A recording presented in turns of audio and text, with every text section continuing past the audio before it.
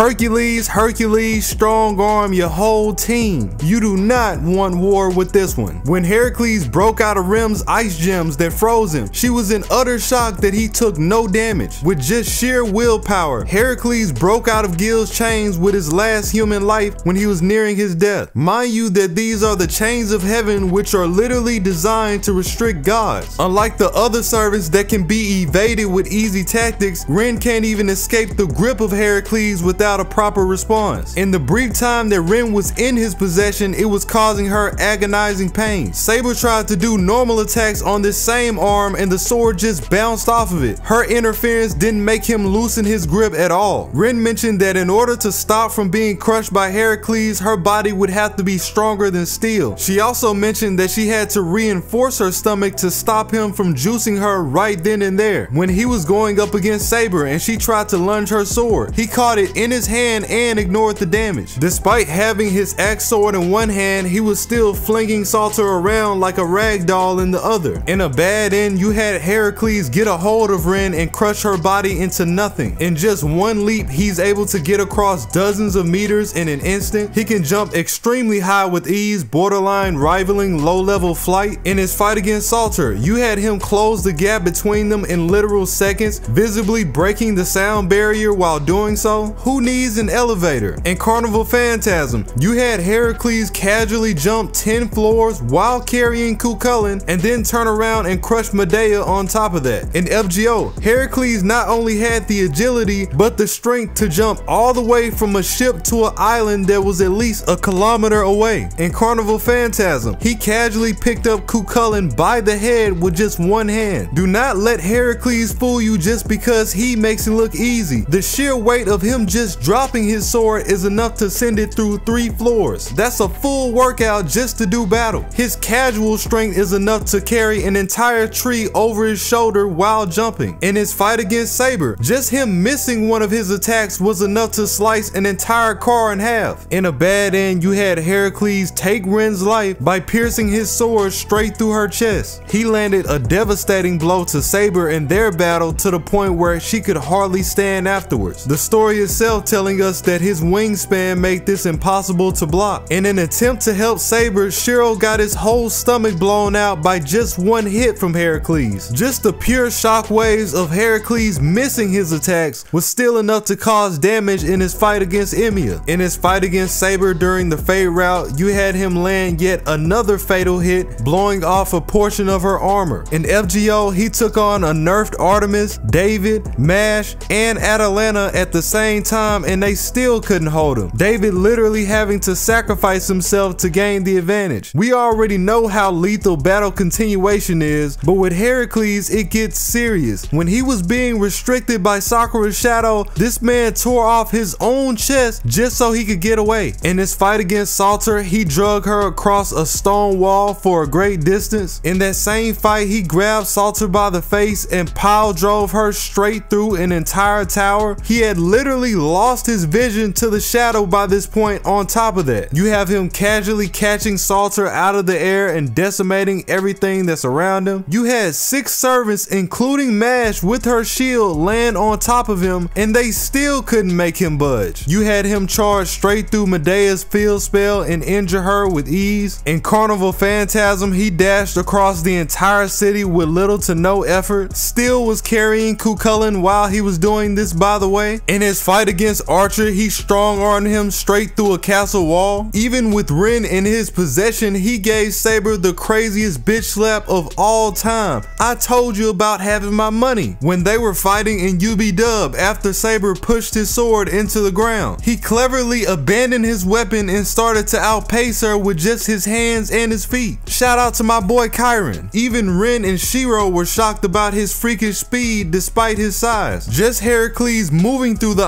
Einzbern forest has been compared to an earthquake and a typhoon by Shiro. Even while being blinded and restricted by Sakura's shadow, Heracles still kicked Salter across the lake. He casually kicked a field goal with Salter sending her dozens of meters into the air. When he was having his fight against Asterios in FGO, he punched him straight through Francis Drake's ship, the Golden Hind. In close range combat, Heracles disarmed Asterios while he was getting help from the squad. In that same chapter, one brutal kick blew David through countless amount of trees. In a bad end, one good hit crushed Shiro's entire backbone. The story tells us that his strength is ridiculously superhuman. He can destroy at least two houses in one blow, and if he wanted to, he could have Fuyuki in ruins by the end of the night. In Heaven's Feel, he tactfully tossed up multiple stone pillars against Salter and shot them down at her at Mach speeds. The sheer force behind his strikes have been described to be strong enough to destroy a mountain. As we know, he one-shotted several wolves in the Einzbern forest in order to protect Ilya. Even the debris from his fight against Saber nearly took out Rin and Shiro. By striking the ground, he's casually seen creating rifts in the street and in the graveyard. This too can be used to slow an enemy down. He can casually slice through multiple trees at once. In Carnival Phantasm, just him playing tennis was enough to blow a hole straight through the wall. In his fight against Emiya, you had Heracles smacking him into the walls of the castle. Despite Emiya being a quick servant himself, he was still surprised by his ridiculous speed. In the Fate route, when Heracles got a hold of Shinji, he straight up one-shotted him and left his remains all throughout the hallway. When Rin tried to use her ice gems, which have enough magical energy to take one of Heracles' lives, instead of dodging them, he was just batting them out the way with no effort. Even when the gems completely froze his arm, he still uppercutted Shiro with that same arm and took Ren into his possession. Again, his shockwaves nearly broke Shiro's leg without him touching it. He can produce whirlwinds with just his swings, another one blowing Shiro straight into a tree. In another classic bad end, you had him smash Shiro's legs until they were 2D and punch out one of his lungs at least 50 meters away. In a different bad end, you had Ilya tell him to cut his legs off altogether so he couldn't run away. In the Fate route, the story highlights that in terms of speed and raw power, he's stronger than Saber. Similar to the way he did Shiro, he blew her into a tree. In their fight in UB Dub, again, he sent her dozens of meters all the way into a cemetery. During a bad end, he straight up blocked a weakened version of Saber's Excalibur, then smashed her to pieces right afterwards. In his fight against Gil, he was deflecting multiple high-rank phantasms from all around him. Even when he got hit, this still didn't stop him. The story tells us that Cursed Arm Hassan has absolutely no chance against Heracles, and he would slice him in half with one shot. In Ataraxia, just him barely touching Angra Mainyu was enough to send him flying. Again, you have the story telling us that he flat out passes Saber in raw power. It's stated that every single one of his hits would be fatal on her and she's forced to defend majority of the match. And Saber is a top servant. She says herself that getting hit by a direct attack would mean instant death. Despite Heracles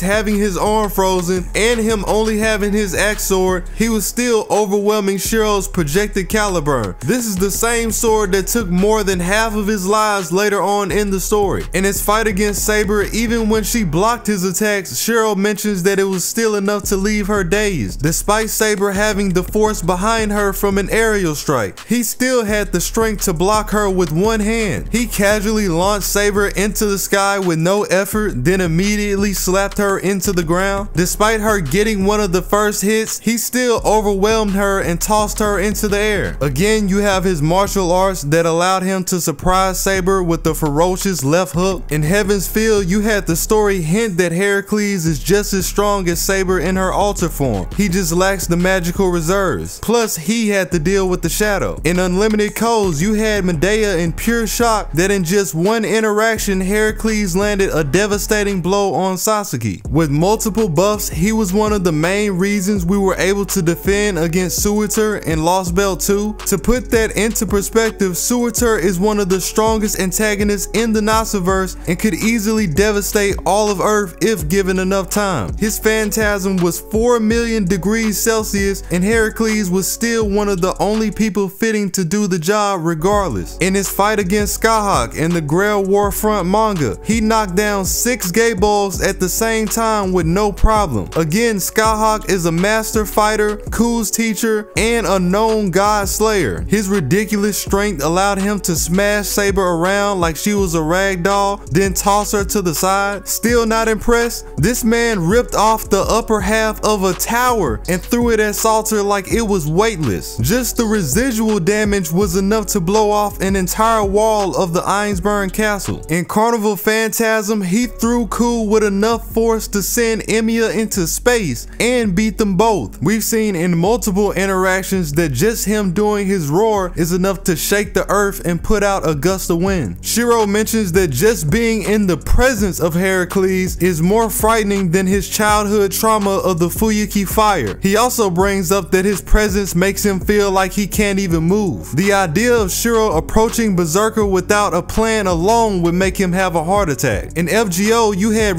Ritsuka mention that he felt more fear fighting Heracles than he did when they went against Fafnir. Reminder that Fafnir is an entire dragon, the same one that was taken down by Siegfried. His aura was making Ritsuka's body shut down and make him start to hyperventilate. The story tells us he could do the same to a servant. Again, on his final life when he was against Gilgamesh, it tells us that he defied the laws of the Grail War and death itself. You have Musashi, who is also a top servant. Even she doesn't believe that she's on the same level as Heracles. She also complimented him as a hero. In his fight against Saber, it said that her normal attacks were hardly even bothering him despite him being knocked into the air. When he was locked up by the chains of heavens, he still wouldn't budge. The chains tried to pull his arms in the wrong direction and rip his head off. Both tactics were ineffective. Even Gil was shocked by his endurance, saying that the bull of heaven couldn't hold off these chains, but Heracles could. He took a brutal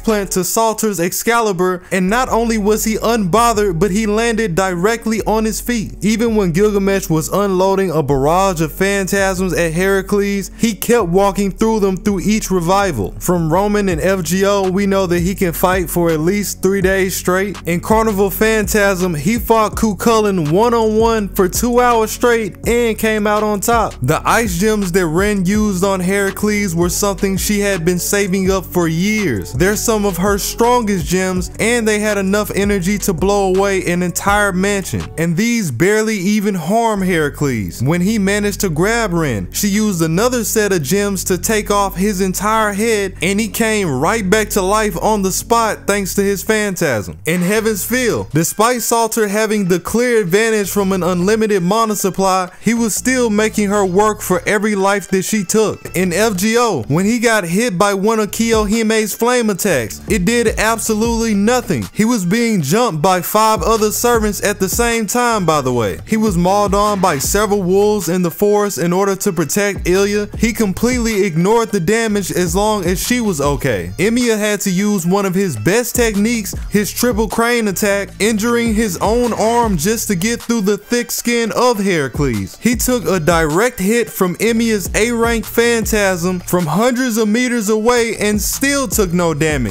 This is real Black Air Force activity. In the Fate Materials, Nasu talks about how the anime actually nerfed him and forced him to use his god hand for the same situation. Truth is, he didn't even need it and this is right after going against Saber. When Gil tried to throw phantasms that were any less than an A rank, they just bounced directly off of his body thanks to his god hand. Gil held him down with his chains of heaven and hit him with one of his strongest phantasms straight through the chest and he still came back to life. When Francis Drake tried to use her phantasms to shoot him with multiple cannons, a nerf version of Artemis tried to shoot him at the same time, Heracles just stood there and tanked it. Is this real life? Is it time to go home now? In his fight against Emiya, you had Emiya complimenting his agile body despite his massive size. He has extremely fast speed, dodging Gil's chains at the last minute multiple times before their effect activated. When Skadi tried to zap him with an ice crystal, he was able to dodge that as well. Again, Skadi has top tier spells. It said that some of his hits come out so fast that Saber had no choice but to eat them. Saber having great speed and reflexes herself. You had Shiro mention that despite Heracles having a bigger sword and being bigger in size, he was still moving faster than Saber. There was a part where he teleported moving faster than their eyes can keep up with. He easily cut down multiple shots from Atalanta. Despite Atalanta being able to shoot several times over Mach speed, he casually knocked several Gandr bullets out of the air when Ren tried to jump him. These can take down a human in one shot under the right circumstances. You had Archer tried to shoot him before that same fight, he tanked that and knocked down his shots with ease too. Again, he was casually knocking some of the highest ranked phantasms from Gil to the side. Ren was shocked that he crossed such a large distance between him and Ilya in an instant. In his fight against Archer, it's said that he can casually cross 10 meters in an instant. He closed the gap between Shiro borderline teleporting before he could even respond. You had him close the same type of gap to catch up with Ritsuka and FGO. There was a fight where he took on an entire dragon as well as other enemies by himself. You have his B rank mad enhancement boosting all of his stats in exchange for his sanity. You have his A rank battle continuation which guarantees his utmost survival no matter what. He's not going down unless you give him your absolute best. You have his bravery skill which is A plus. No matter how big or how bad you think you are, he's not backing down from you. You do have holes in your armor and he's going to find them. It makes his regular attacks stronger and it cancels out mental spells. You have his A rank divinity thanks to him being the son of the king of gods Zeus himself. Unless you have a whole team of servants or a servant that can match his level of mystery, don't even waste your time. His legend is so great that he lived alongside the other gods at Mount Olympus after his death. He has the same level of Eye of the Mind as Emiya, the difference being that Heracles has the false version. While Emiya was able to obtain his Eye of the Mind through sheer experience, the false version that Heracles has is one that naturally puts his instincts above others. The story tells us that his intuition is on the same level as Saber, who has the actual instinct skill. It's this same skill that had Shiro convinced that he must have eyes in the back of his head due to his unearthly reactions. In his berserker form, his hits have so much speed and power, he has no need for technique. The story tells us that normal attacks can be healed in minutes and you need the highest level of normal attacks to pull that off. Then for actual fatal wounds, it would only take him three days. You have his axe sword, which isn't even a real phantasm by the way, that was created from the foundations of an Einzbern temple. But he's stuck using this sword because it was his catalyst to be summoned as a berserker. So while everybody gets to use their best weapon, dude's out here fighting with a random axe. He's giving y'all the handicap and you still can't keep up. You had Ren also mention that he outclasses Saber when she analyzed his data, complimenting him before the fight even started. You had Saber compliment him during their battle, saying that despite the fact that he lost his sanity, his sword skills remain superb. She can't help but respect it. From the fate materials, we know that he is the highest level of a warrior you can be. He has the qualifications to be in every single original class except the caster. He's mastered every weapon, his best class being archer, and thanks to him being restricted in Stay Night, we couldn't even see him use them. You had Ren mention that he is the most powerful servant when it comes to hand-to-hand -hand combat, saying that she believes that not a servant prior to him could match him at close range. You know how crazy of a statement that is? That's five wars worth of servants. That's at least 30 servants, a good portion of them being deity level. Respect his body. The story tells us that Ilya's servant is the most powerful. He's the most famous out of all heroic spirits, and there should only be two servants at the most that can match his caliber, Emiya being the anomaly. This is a retcon now, considering that this only addresses the servants that were out by the time of Stay Night. There's a ton of new servants that's been released since then, but it does still say a lot about his stature even if that is the case. He defeated Emiya and took his life in a one-on-one -on -one after losing six of his lives. Even at her full potential, Saber has doubts that she can completely beat Heracles. In the Fate route, just Saber fighting Heracles for a short amount of time had already put her to her limits. Emiya himself says that he can fight the other six servants on his own and beat them all. In a Q&A, Nasu says that if Heracles went against Cursed Arm or Sasaki, it wouldn't even be a fight. Medea, with all of her help and territorial advantage, would still lose, and while Ku can boost himself with runes and he might have a better chance than the others, if they fought, the match would still be more in the favor of Heracles. Da Vinci says that he once took on giants to help out the gods at Olympus. You had Jason mention that he took on the three-headed hellhound Cerberus on his own. The story tells us that he helped out in the Great War against the divided spirits of Sefar. Thanks to his background in his 12 labors, he is the most recognized hero in Greek myth. This gives him one of the highest fame boosts you can possibly have, which in turn makes him stronger as a servant. Saber herself mentions that despite her being King Arthur, even she doesn't reach his level of fame. The crazy thing about it is that the wars take place in the east and he's still on top. You had Nasu mention in the Fate materials that if Ku, Heracles, and King Arthur were summoned in Western Europe, Heracles would still have the most consistent boost of them all. In a Q&A, you had Nasu mention that Heracles would come in second place in an eating contest, just falling short to Saber. We made it this far and now it's time for the nonsense. The most unique ability of Heracles, God Hand. One of the greatest abilities in Fate to this day. Thanks to his 12 labors, it gives him 11 lives on top of his original one, which means that you need to kill him 12 times or take 12 lives worth of energy just to finish him off. Oh, you thought it was over? That's just the first part of the ability. The second part is that he nullifies anything less than an A rank, which means if you try to come at him with anything less than the best, it won't even harm him. Need I say more? You can't hit him with the same thing twice, which means even if you have a strong weapon, you would have to find a different method each time you take one of his lives. You would have to find 12 different ways for him to die. If that wasn't enough to take all your hope away, his lives can be regenerated if he has a proper master. Ilya, for instance, can regenerate a life every three days. You have Ren's Gandr bullets, one of her go-to spells. They have no effect on him. The story even points out that it's not even the magic that's canceling it out. They just don't do anything. It's like she's shooting marshmallows at him. In the Fate route, just Shinji trying to punch Berserker had his arm bent like a puzzle ring. Shiro tried to smack Berserker with his bow and it numbed his entire hand. You had Shiro shoot him directly in the face near his eye and his defense just negated it. In Hollow Ataraxia, you had Bazette hit him with two Fragarachs, one of them blowing a hole through his face. He still survived. This is the same high tier phantasm that was able to one-shot Arturia and Ku. The same shots that Emiya made that could mow down houses, it tells us that they did nothing to him. He ate them. Saber tells us that even if it's a phantasm that destroys the world, he's still going to negate it if it's less than an A rank. You had Saber straight up beating on his defenseless body and he's just looking down at her like, is this a joke?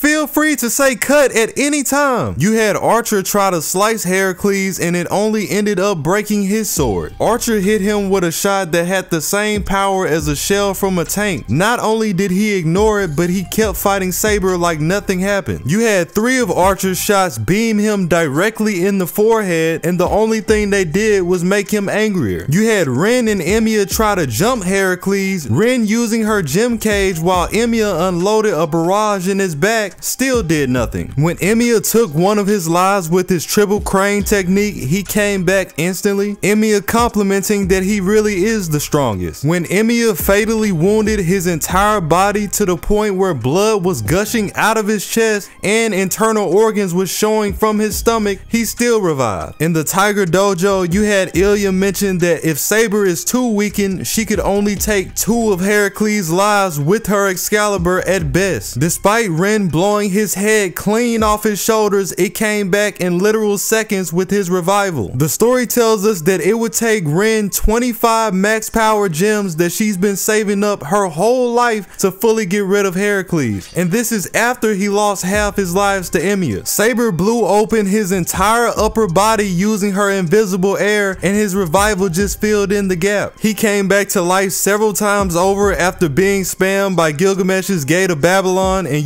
UB-Dub. Despite him being blinded and fighting against the effects of the shadow, he was still coming back to life multiple times against Salter. You had her cut his entire upper body in half with her sword. He came back from that. You had her incinerate all of his limbs with her Excalibur blast. He came back from that. You had her burn him alive in massive infernos multiple times. How do we tell him? In the Fate materials, you had Nasu mention that Berserker doesn't even need to die to get the perks from God Hand. Just receiving an attack can triple his resistance to it. The first time Bazette killed Heracles in Ataraxia, she shot him straight through the heart and he came back to life 10 seconds later. In Lost Belt 5, when Heracles was being buffed by multiple casters, you had him tank a direct hit from Lost Belt Artemis to save several servants. Again, keep in mind that Lost Belt Artemis is capable of destroying entire planets. Remember when I said he can survive anti-world phantasms? You thought this was decoration? He is really like that. And not only did he tank one shot, but it took another one for her to completely take him down. In FGO, when he was fighting against Scathach, he took a direct hit from her Gaebulg alternative and his god hand brought him right back. Even she had to compliment him saying that she didn't hold back at all. Then you have his nine lives phantasm. This is the same phantasm that he used to defeat the hundred-headed Hydra in his myth. The phantasm itself is actually a style, meaning that the move is relative to whatever weapon he's holding. Sword, shield, spear, bow,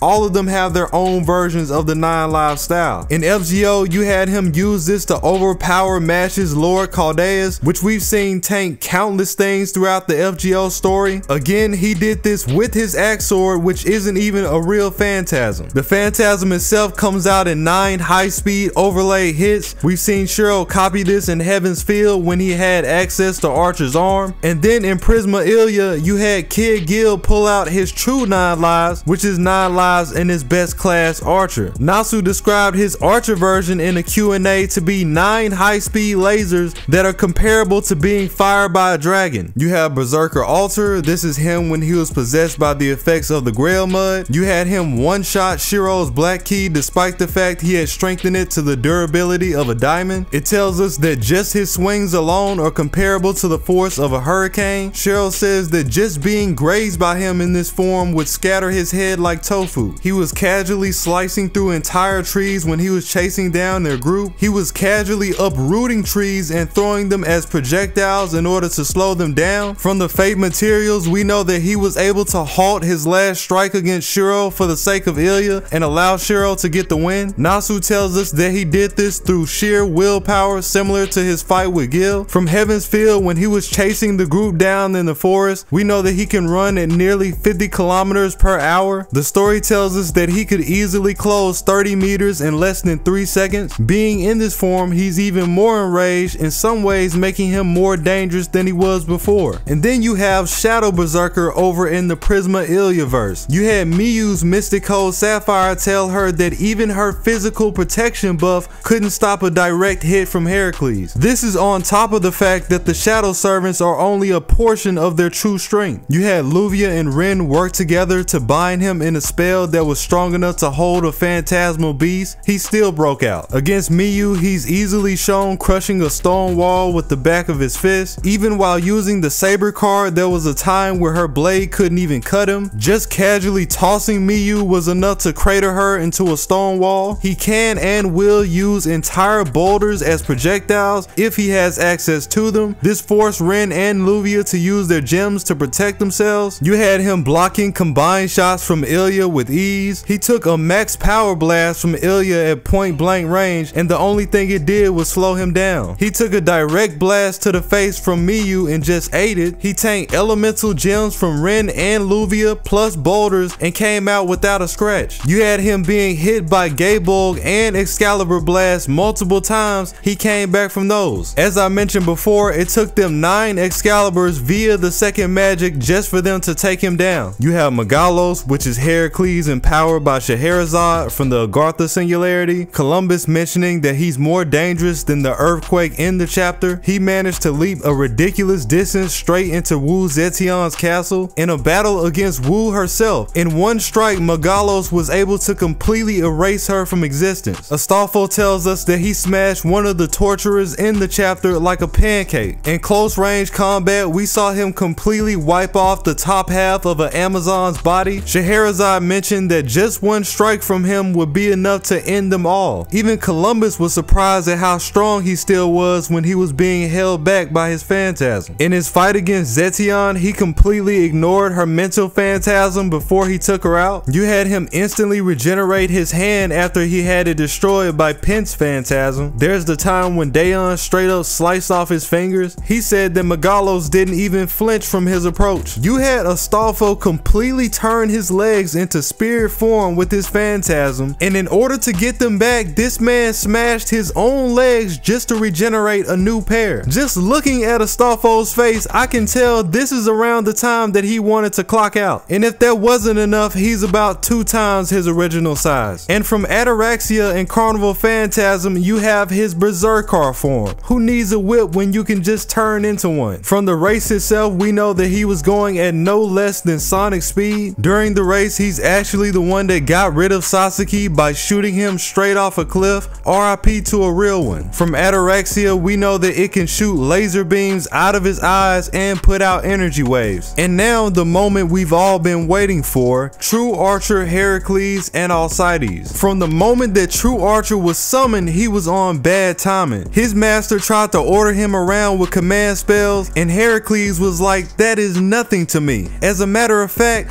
I'm gonna let you use your command spells on purpose just so you know I'm not the one to play with. Just him releasing his energy was enough to blow multiple people into the walls. It took his master three command spells to stop Herc from resisting the pollution of the Grail Mud. At that point, he turns from True Archer to Alcides, his Grail Mud altered counterpart. We know that he shot an arrow at Gil and his master that spanned over 20 kilometers in an instant. This forced the activation of Gil's auto defense system that shoots lightning. You thought that was impressive. How about the second shot that went past his lightning and actually hit him? Yes, the novel says verbatim that this man is casually shooting arrows that are faster than lightning. I'm done. From Gil's master Tine, we know that Alcides and Hippolyta are around the same level based on their aura. When he was up against Hippolyta, he nullified five of her magical boosted arrows just using the arrows of his own. To hit her with even more of a flex, it tells us that the arrows themselves were only an inch away before he decided to respond. Chief Reeve mentions that just a stray shot from his back and forth with Gilgamesh would be enough to demolish a whole building. Just one of his arrows that was deflected by Philia was enough to one-shot a crowd of demonic beasts. As Nasu mentioned before, his arrows are said to resemble laser beams. Hitting Humbaba in the back one time was enough to make her scream out in pain. You had one of his shots make a 10 meter crater, the residual damage being enough to knock nearby officers unconscious. You had the story hint at the idea of him taking down a 10 story hospital with just his bow, saying that nobody would be surprised if he did. During their fight, you had him fire multiple arrows at once at Hippolyta, all of them coming from different directions. Everybody knows that the fight that he had with Gil was crucial. Gil hit him with a tornado of phantasms. Thousands of phantasms pouring on top of him at one time, cursed swords, the best spears that you can think of, thunderbolts, and none of it worked. Alcides blocked it all. Then taunted Gil by calling him weak. The ultimate disrespect. I've never seen Gil so mad. Is this the part where you're supposed to be serious? You must have forgot that I'm really him. Gil and his master were horrified that he came out without a single scratch on him. He even told Gil, bring me your best weapon, then we can talk about being on the same level. Until then, I don't want to hear anything about it. Again, when Hippolyta tried to hit him with several of her shots, who we already know to be extremely powerful, he just knocked it to the side with his bow. Just one of her reinforced shots is enough to destroy armies, plural, and he knocked it out the way like it was nothing. When the Clan Calatin police force tried to hit him with several pseudo-noble phantasms, he swatted them away with his bow as well. He also responded by sending back a shot that cratered through the road. The time that he was confronted by Officer Wingard, Alcides moved at a speed so fast that he couldn't even keep up with it, practically teleporting. Then broke the officer's neck and launched him into a glass door. One of the officers had a shield pseudo-phantasm. Just him blocking one of Alcides' light shots felt like he was getting hit by a grenade and blew him away. Him focusing his energy and stomping alone was enough to lift the concrete all the way down the street hundreds of meters away. You had Hippolyta try to shoot another shot while she was accelerated on horseback. He deflected this as well. Similar to his berserker form, you had him casually toss giant boulders into the sky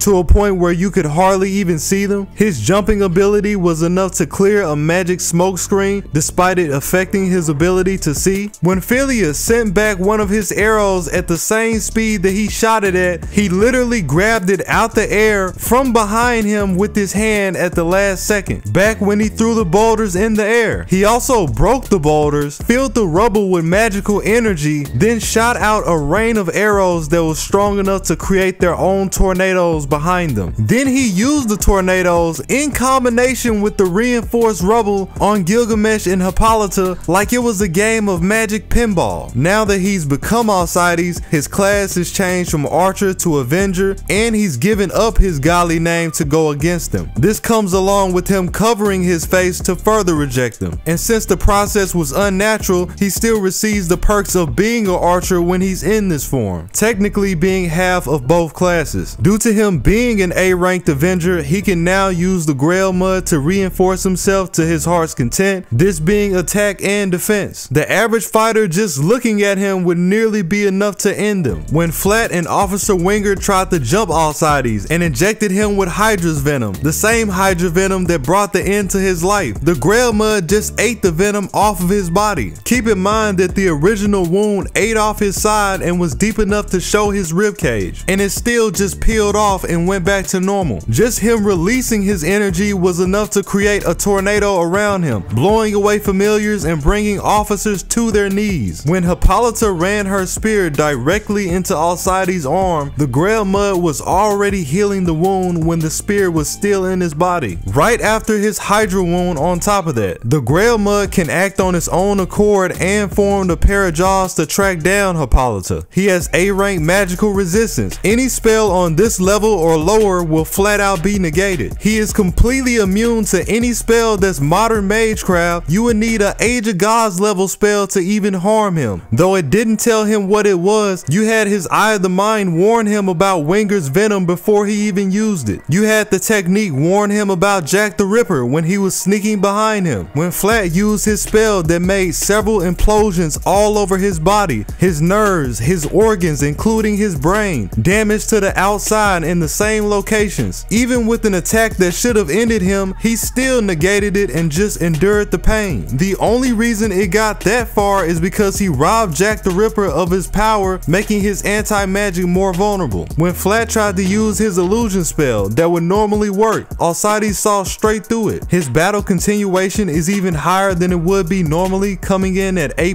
Using this, he was able to survive a brutal beating from Jack the Ripper's phantasm from hell, which literally uses his background to merge with demons from hell itself. He had a countless amount of demon counterparts dogpile Alcides as well, and he just shook them off. They also loopholed through his defense, meaning he had to truly endure all the damage. The story tells us that going stat for stat, he passes Gilgamesh too. After his fight with Gil and Hippolyta using his Grail Mud, he's shown the ability to teleport at will. Then we have his phantasms. Due to the pollution, he's lost access to his God hand, which means that he's lost access to his 12 lives. But don't feel too bad for him, because now that he's not restricted by his Berserker form, he has access to his King's Order phantasm. That being 12 different phantasms that embody his 12 labors. For the first of his labors, you have him defeating the Nemean lion. This is the lion that had the skin that was impenetrable to traditional attacks. The cloth that he uses to cover himself is actually the skin of that same lion, meaning that any weapon created by man that hits the pelt will be negated. Using this, he was able to completely tank the damage of an earth-shaking punch from Hippolyta. The story saying that her one punch had more effect than all of Gil's phantasms just to show the magnitude of her punch. The skin also helped negate her arrows when she fired them at Alcides. Before he brought out his counterparts, Jack the Ripper's attacks were having no effect on Alcides. When one of the officers threw an entire pseudo-phantasm spear at Alcides, the attack was reduced to minimal impact. This same attack would have been enough to pierce an armored truck. No matter what pseudo-phantasm all the Clan Calatin officers tried to throw at him, blade or projectile, none of them worked. You have his fourth labor, the Erymanthian Boar, where he took on the immortality of Chiron that allowed Chiron to end his life. He now has this as Alcides. When he was hit by the Hydra poison, the Grail Mud didn't just end the pain. He still had to go through everything you would from this attack, but his immortality and his Grail Mud helped him shift the pain into more power. He has access to the Stymphalian birds that he defeated in his sixth labor. When he was up against Philia, he shot a bulk of arrows into the ceiling that transformed into giant metal birds in mid-air, then rushed her with bloodlust. It was these same birds that helped reveal to Alcides that Flat was using his illusion spell. From his eighth labor, he has now received the horses of Diomedes. He has four of these that he can bring out at will, even using one to escape the reality marble of the horsemen of pestilence. Even when they're not in his possession, he can still sense them due to his Lincoln origin. For his ninth labor, he has access to the war god belt that belongs to Hippolyta. The belt itself allowing you to reinforce something with the divinely aura. When Hippolyta reinforced her arm to strengthen her spear attack, Alcides applied his belt to his bow and just deflected it. And for his 12th labor, of course, him defeating Cerberus in his myth, he has access to the three-headed hellhound Cerberus. The story telling us that Cerberus is no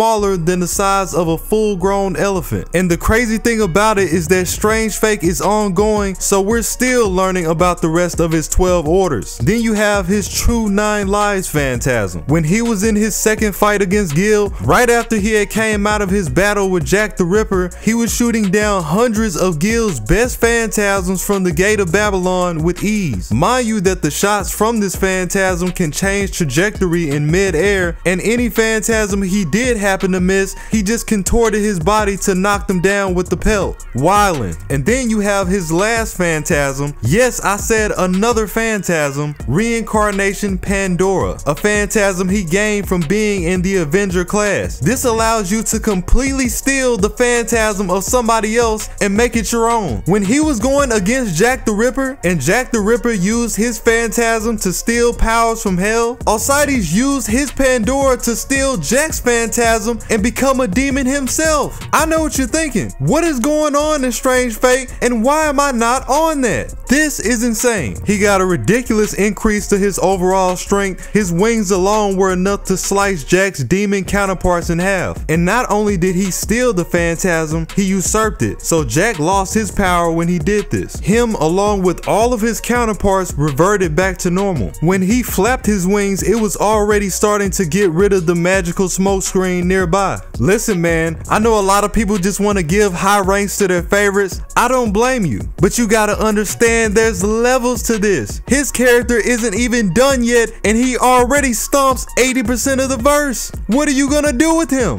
He's immortal. He has 14 phantasms, some of which we haven't even seen yet. In some forms, he has his God hand, 12 lives that can be regenerated over time. You can't kill him the same way twice. He is the most famous hero in Greek myth. He is one of the greatest warriors in any myth, period. He's going toe to toe, sometimes even outdoing some of the strongest characters around. He can steal somebody else's phantasm. Let's be real. There's gonna be people that hop under here and say that he was bluffing against Gil to steal Aya. When you block thousands of phantasms, including thunderbolts, fire, and ice, and come out without a scratch at all, it's not a bluff. Now hold this EX. These boys are not seeing Herc, he's a straight goon, and that's being generous.